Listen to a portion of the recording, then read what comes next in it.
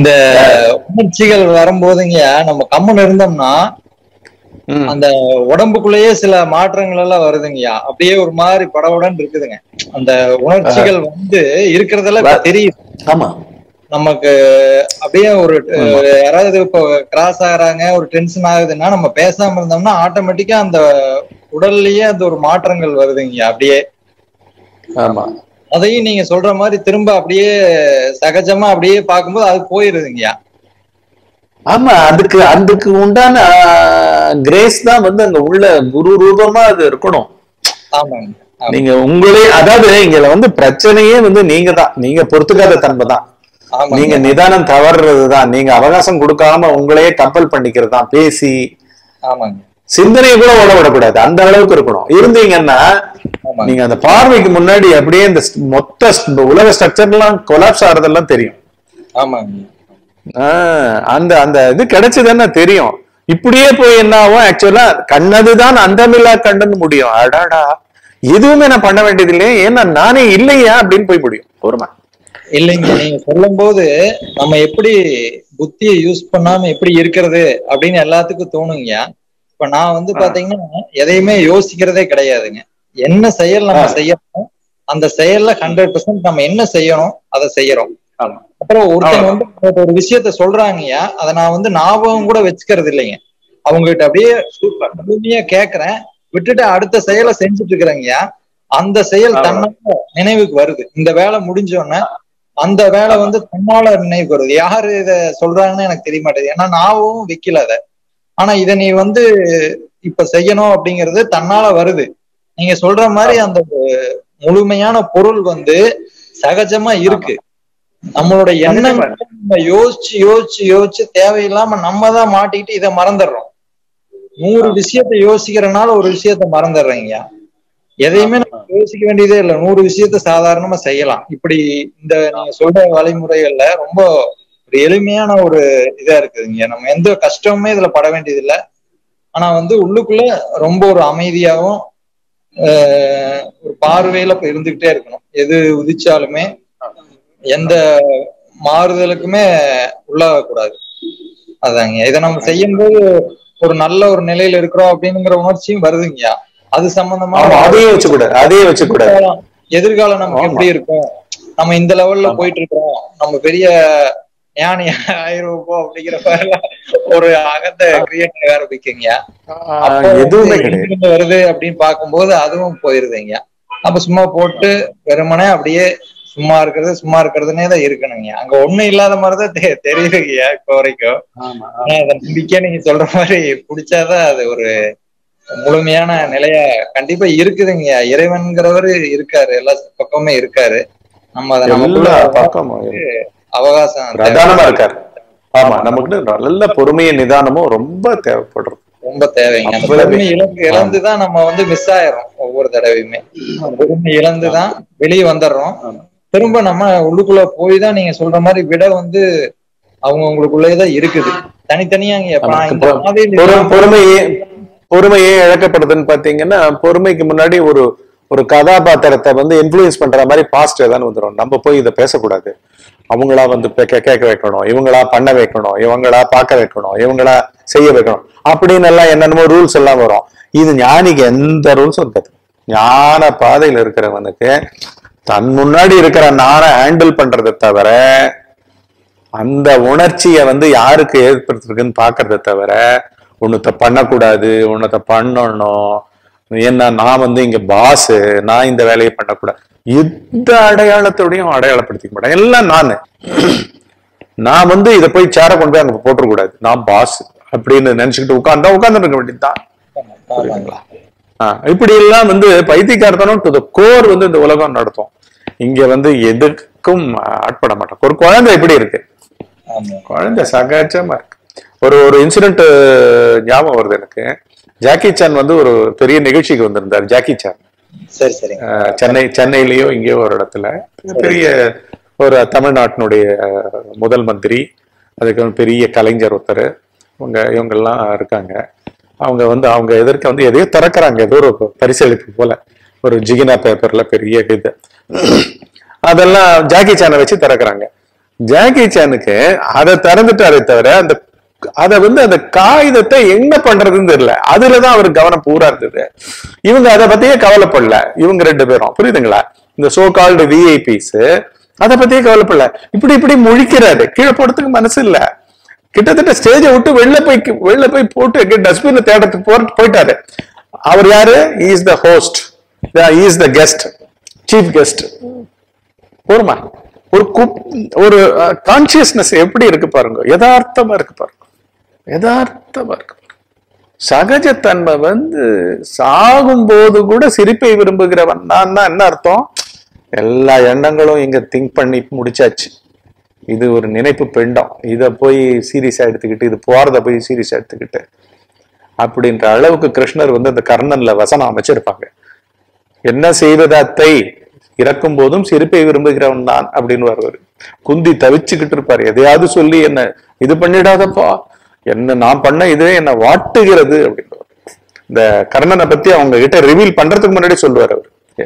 இறக்கும் போதும் சிரிப்பை விரும்புகிறவன் தான் அப்படின்னு அத போல இங்க வந்து பிரம்மாண்டமான பொருள் வந்து காலமே நம்மளுக்குள்ள இல்லைங்க. காலமும் இல்லை தேசமும் இல்லை அதுக்கு காலம்ன்றது எண்ணமா தான் வருது.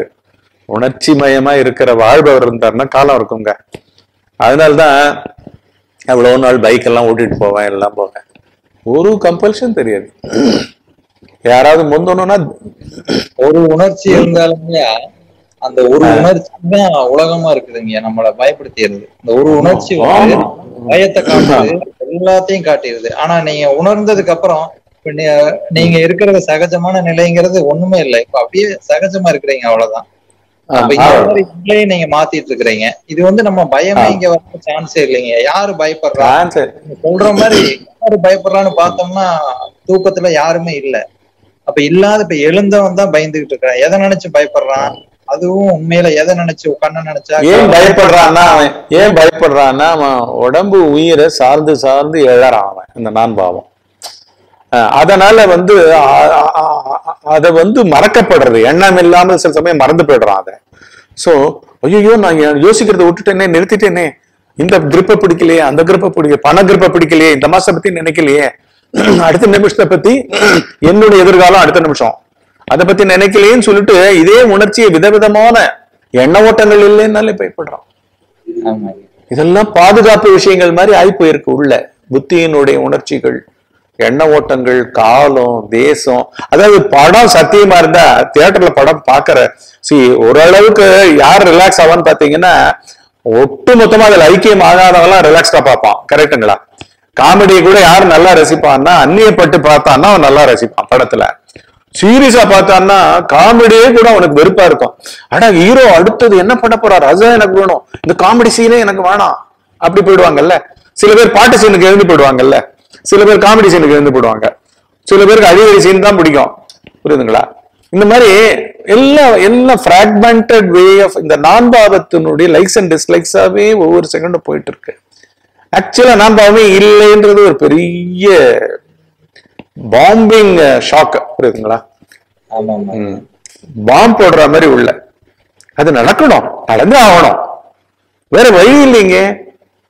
எந்த மதத்தை ஃபாலோ பண்ணி எந்த கோயில்ல போய் என்ன முட்டிக்க போறீங்க? என்ன பண்ண போறோம் அப்போ முடிவே இல்லைங்க. இதுக்கு வந்து ஒரு.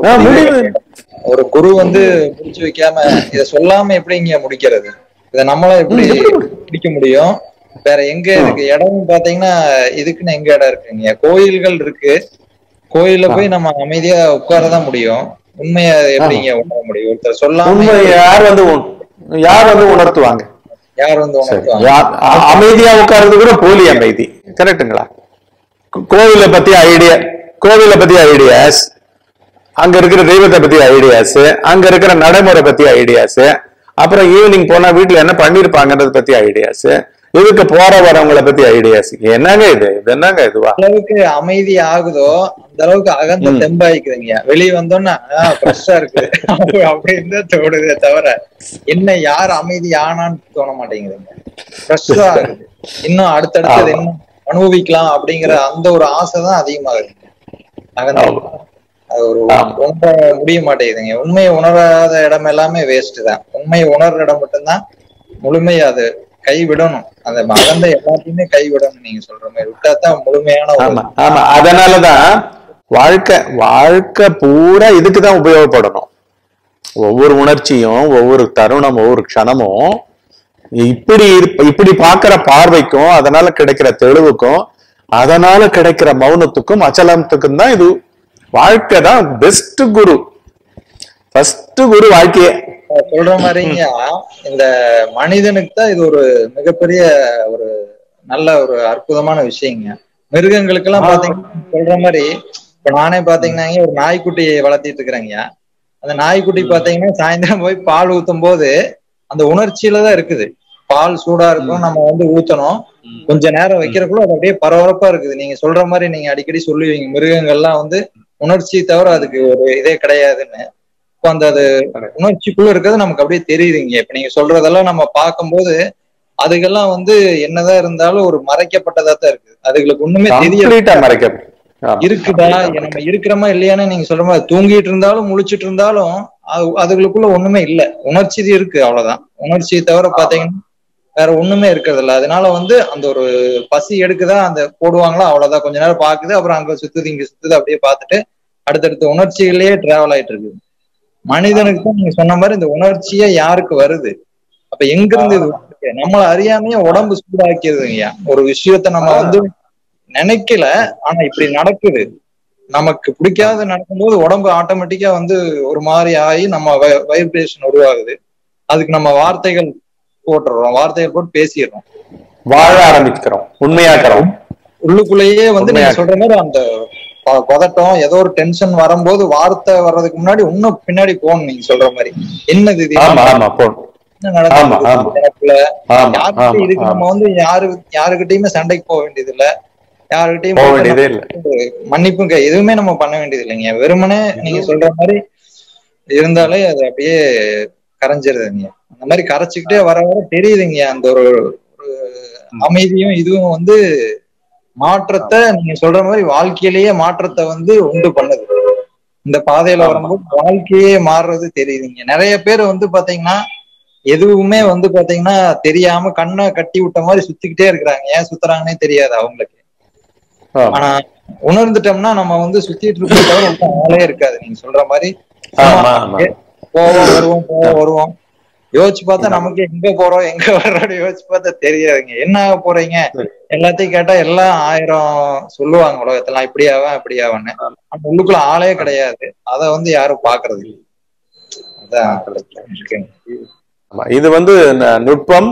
ஆனா அந்த ஆளே இல்லாத இடத்திலேந்து இவைகள்லாம் வந்துட்டு இருக்குன்னா அது எப்பேற்பட்ட மகா சக்தியா இருக்கணும். இப்படி வந்து இப்படி வந்து ஒரு நீங்க சொல்ற நாய்க்குட்டியும் அது பாத்துக்குது பஞ்சம பூதங்களாவும் இருக்கு. வரதராஜ் சொன்ன மாதிரி டக்குன்னு முழிப்பு டக்குன்னு தூக்கம் டக்குன்னு உயிர்ப்பு டக்குன்னு எண்ணம் டக்குன்னு உணர்ச்சி டக்குன்னு உலகம் இல்ல. எல்லாம் ஒரு ஒரு ஒரு இந்த சைடு அதாவது இந்த சைடு உதிப்புன்னா அந்த சைடு மறைவு. ரெண்டும் பிரிக்கவே முடியாது. எல்லா வடிவங்களுக்குள்ள இருக்கிறது எல்லாமுமே பொய்கள். தோற்றம் அனைத்தும் பொய்கள். அது உணர்ச்சிகளா இருக்கட்டும் எண்ணங்களா இருக்கட்டும். பட் இதுக்கெல்லாம் மூல பொய் வந்து நான் பாவம். இதுதான் மனிதனுக்கு மத்தனம் உணர்த்தக்கூடிய ஒரு ஞானம். வேற நீங்க வந்து என்னுடைய குரூப்ல நீங்க என்ன பண்ணாலும் என்னுடைய பணத்தை கொடுக்குறேன்னு சொன்னாலும் என்னுடைய ரத்தம் பிளட் டொனேஷன் பண்ணனாலும் அதனால ஒன்றும் புண்ணியமும் கிடையாது பாவமும் கிடையாது. எதுவுமே கிடையாது. அதெல்லாம் அது வச்சுட்டு இருக்கிற நீன்றவனை யாருன்னு நீ நேர பார்க்கணும். பார்த்து அவனுடைய உண்மை இருக்கான்னு பார்க்கறது தான் உண்மையான ஒரு இதை கொடு- பொருளை காமிக்குமே தவிர வேற எதுவும் காமிக்க என்னுடைய குரூப் ஹெல்ப்பே பண்ணாது. இங்க என்னுடைய இதில் தான் நான் ஆன்மீகமே நடக்குது.